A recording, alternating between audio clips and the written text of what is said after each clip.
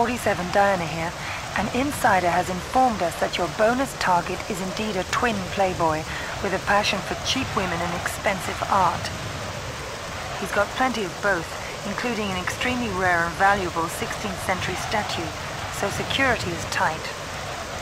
I'm just outside the penthouse now, looking in. It looks like there is a twin. I will proceed as requested. Those are the orders. Are you absolutely sure that this is Charlie's twin?